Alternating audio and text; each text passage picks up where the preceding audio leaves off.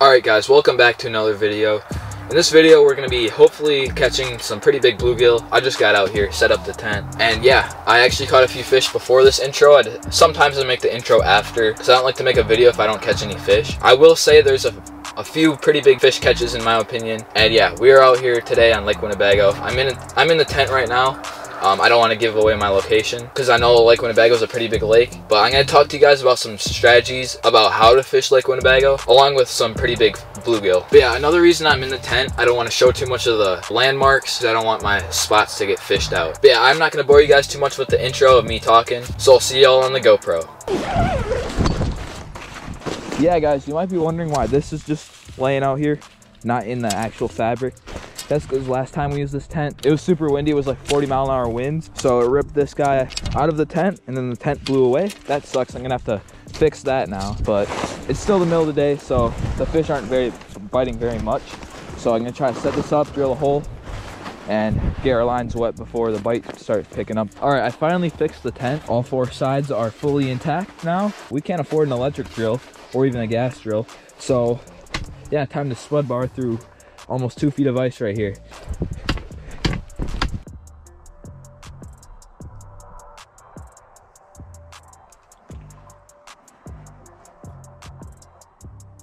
Always coming.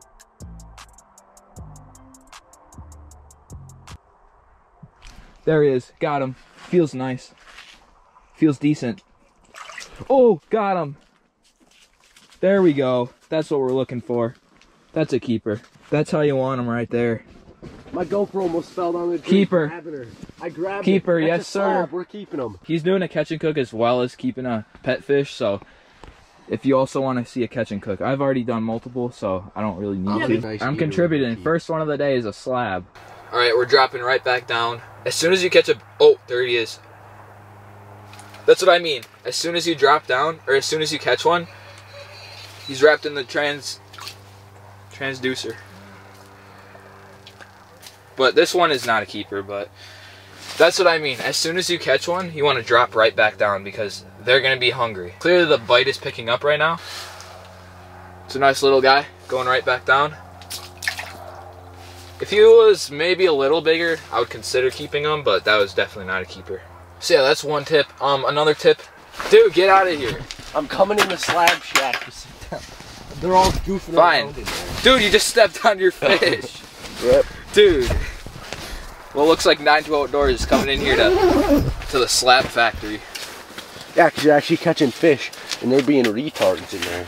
But anyway, another tip I was going to give was also, if you see a lot of fish in your hole, and they're not biting, try to downsize, because that's what I learned. Because I, was get, I wasn't getting bites earlier, but I downsized.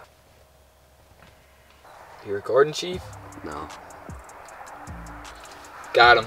Dink. This one's tiny. This one might go in your fish tank. He's going in the fish tank.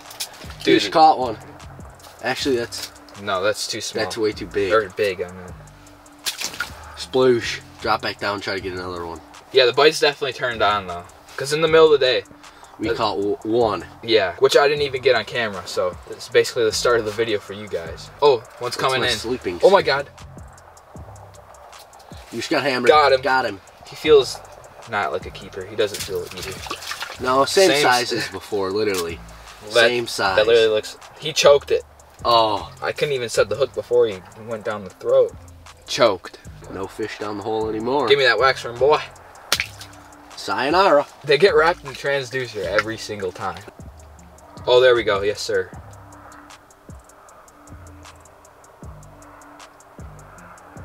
Catch him. Dude, there's like 30 in that one spot.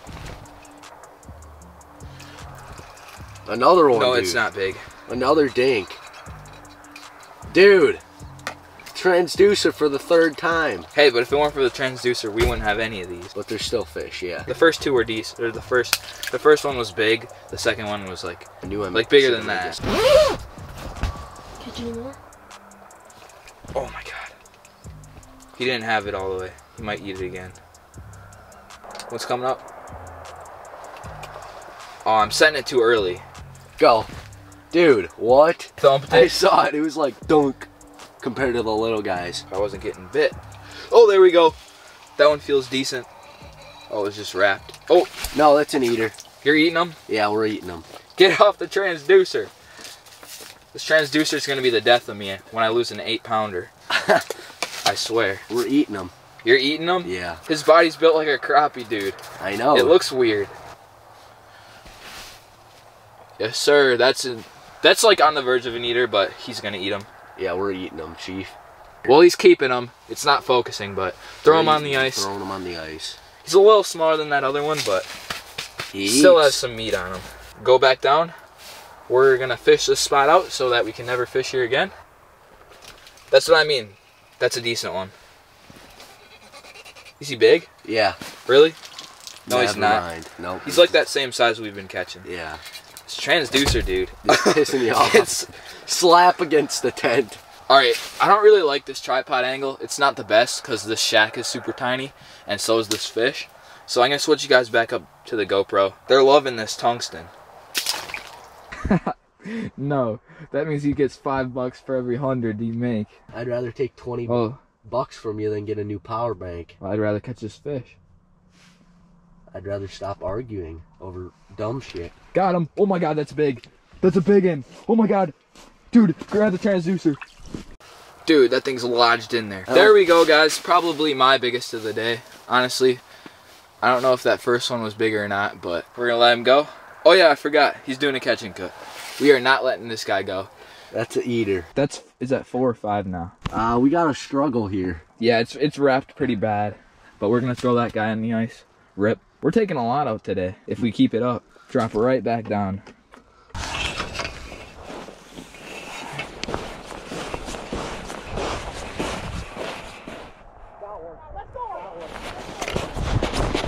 You, you got one? Really? Dude, actually, this little guy ate the tungsten. you're keeping them? Yeah. Throw it in the middle bucket. It Has way more water. Yeah, throw it in the middle bucket and it can eat. All right, on his channel, he's keeping this little guy for his fish tank. So go click the card in the top right corner, and you can see that video.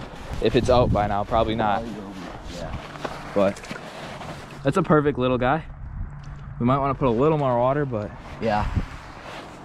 It's good because we're only gonna be here for another few hours. So. Yeah. All right, so when we first got here, my Vexilar was like the battery wasn't plugged in to the wire, so I thought it was definitely dead. So I was like, dang, we're not about to catch any fish now. But anyway, I'm gonna go set up my tent, and um, cause their tent's a little crowded, I'm gonna set up the tripod, and then if they catch a big one or if I catch a big one, we'll just run back and forth and stuff. But like most of his catches, I'm not gonna record, so go check out his channel.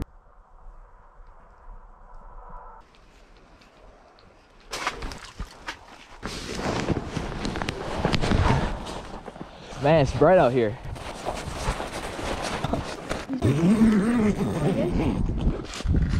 How many fish? Four? Got him. Fuck, I'm not recording. Fish tanker. We got three for the tank. No, you're not putting that in there. Three for the tank. No, we're not putting it in No, the this is tank. too big putting in for a the tank. tank. Sploosh. Oh, you saw that. You heard the I, you heard that and you saw it. Yeah, I'm in the party tent now. Yeah, we're in the. He's in the big tent. All right, y'all. My friends are packing up. Um, this is kind of like my last chance of, to catch a fish here. Um, I've been hole hopping around. I don't know. The bite definitely turned off. It's kind of weird.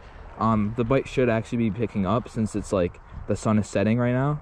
But um, apparently it was good in like the mid-afternoon type deal or something like that. I don't know. But the fish have been very finicky the last like hour. So um, moved out of the shack. I went in their shack. I think I caught like a dink in there, but I don't I don't know if I'll put that in the video. Yeah, this is pretty much it unless if I catch one right here. But other than that, I'll see you guys on the outro. Look at this freaking donkey. Oh my god. That thing's huge. This is this might be like the biggest I don't know if it's the biggest bluegill I've ever caught, but definitely the biggest one I've ever caught through the ice. I don't know. I haven't gone ice fishing much besides this year. I'm more of an open water fisherman, bass fisherman. Um, haven't been in, have not been able to get on much bass this year through the ice. None actually, now that I think about it. But hey man, right when I was about to leave, did not record at all. which, I mean, hey, I missed out on a pretty good fight on camera because that thing was digging down, about to snap my line because I only got like two pound line on here. It was a big fight. Pretty big fight for this guy. I don't know. It's hard to give this guy justice, especially on camera. But just think, look at it. That's my finger on this tail. It's a big one. My friend left, so we're not going to catch and cook him. But at the same time, we're letting a behemoth go. Um, let him grow bigger. And at the same time, reproduce. So that's good for the ecosystem. Let him go. That was not a very graceful release, but goodbye, buddy. Dude, what's he doing? He ain't going down. Apparently he wants to be eaten, but... Oh my god, that's a giant. I don't know why he's not going down. Maybe it's just... Yeah, it is like two feet of ice. Yeah, that's probably why. It was like two feet of ice.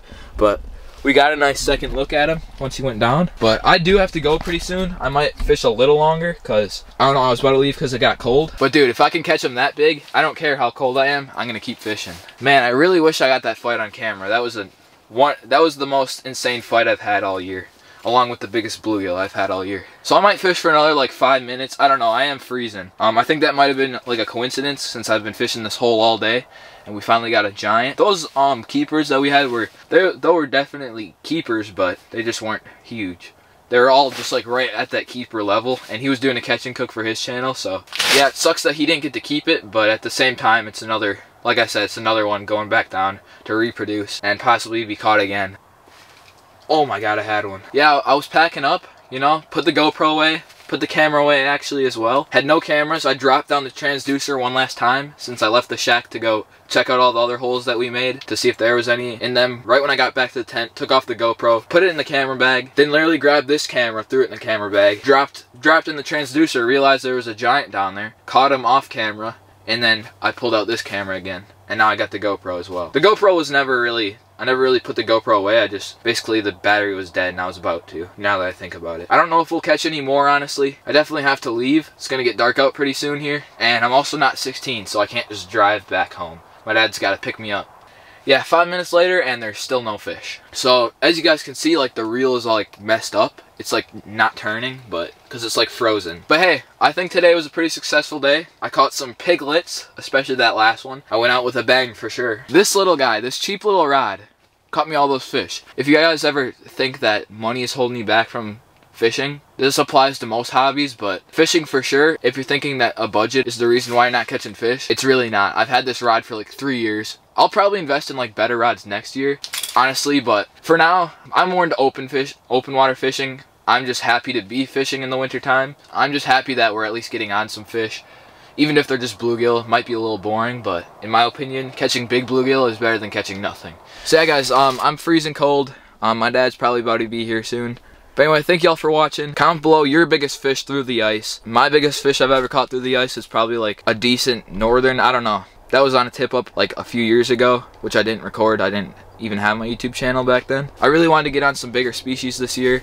Um, some bass, northern, um, but the biggest thing I got on was, a, I think it was a crappie or a bluegill, I don't know. Anyway, thank y'all for watching. I'm freezing as you can probably see. I'm pale as a ghost. I'm ready for springtime. Um, we're closing in on the end of ice fishing, which I'm happy about. The temps are starting to get a little warmer. They haven't gotten above freezing yet, but the weather says it's about to in, within the next week. I'm predicting we'll have another like two or three weeks of ice fishing, of safe ice fishing, but I'm getting ready for pre-spawn. I got some big plans with the John boat, as well as shore fishing a bunch. Also, in the springtime, I get my driver's license so I can actually go to better spot besides like a neighborhood pond that's like a block away from my house. So I'll definitely be hitting more waters and all that. My camera battery's about to die because it's frozen. So thank you guys for watching and I'll see y'all in the next video.